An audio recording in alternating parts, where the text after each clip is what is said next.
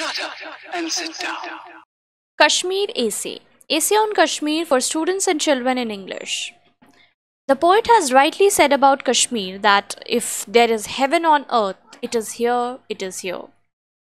We have been fortunate enough to spend some of our holidays in Kashmir, but this happened a few years before the disturbances started in the valley. We usually visited Kashmir during our summer holidays. We took a train to Pathankot, steal the bus from Srinagar. The last time we were there, we went to Chandan Van. A trip to the Kashmir Valley is a beautiful experience. Green plains, long, there are trees, lakes, springs, snow capped mountains. Both sides of the streets are lined with apple and pear orchard. Wild strawberry grows in abundance everywhere. Flowers and fragrant saffron are cultivated here. Kashmir relies on its image of being a paradise on earth. A visit to the Shalimar and Nishat Gardens is a lake dating back to the Mughal era when Noor Jahan's favorite queen of emperor Jahangir visited these gardens. There are beautiful popular trees, flowers, and fountains all over the place. Many Hindi films have been shot here. We often visited the lakes of Kashmir. Dal Lake, which is a major tourist attraction, has many home boats. Many foreigners come here and stay during their holidays.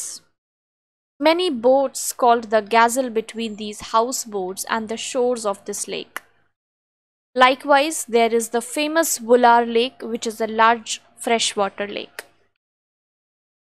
However, among all the lakes of Kashmir, my favorites were Iwanbal and Gangarbil lakes.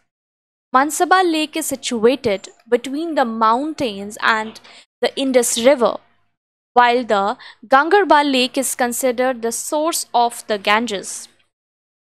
It is closed in the rocky center of Harmukh. Kashmir also has many springs for their healing powers.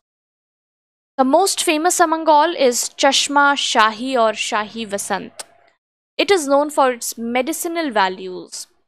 There is also a sulfur lake called Tata Panni in Kashmir. It is believed that if all take a bath in these springs, then all types of skin disease can be cured. Kashmir is a trekker's paradise. There are several trails scattered all over the valley, which are ideally suited for trekking. They are variously known as Gulmarg or Path of Flowers, Sonamarg or Path of Gold, etc. In fact, the beauty of Kashmir binds a person and does not allow him to leave the place.